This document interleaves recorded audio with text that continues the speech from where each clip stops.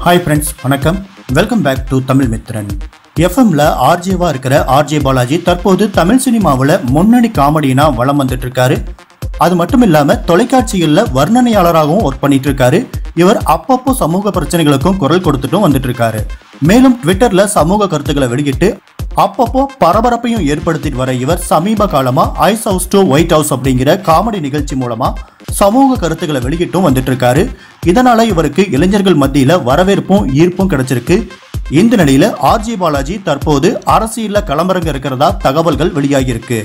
ரோட்ல அங்கங்க இருக்கிற சுவர்கள்ல மே பதினெட்டாம் தேதி இளைஞர்களை வழிநடத்த தமிழகத்தில் மாற்றம் காண அரசியல் களம் புகும் ஆர்ஜி பாலாஜி அவர்களே வருக வருக என வரவேற்கிறோம். மே பதினெட்டாம் தேதி அறிவிப்புக்காக காத்திருக்கிறோம் அப்படின்னு வரையப்பட்டிருக்கு.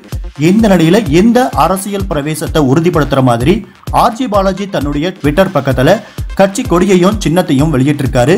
சிகப்பு பச்சை கருப்பு மஞ்சள் ஆகிய நான்கு நிறங்கள் இந்த கொடியில இருக்கு.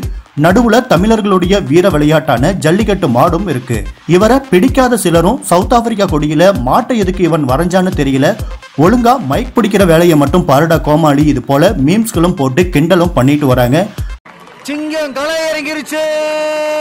அதே போல இவருடைய ஆதரவாளர்கள் பலரும் எதிர்வரை விமர்சனங்களை கண்டுகொள்ளாமல் உங்களுடைய குறிக்கோளை பின்வாங்காமல் முன்னேறி வாருங்கள். நாளைய எதிர்காலம் நம் போன்ற இளைஞர்கள் கையில் வாழ்த்துக்கள்.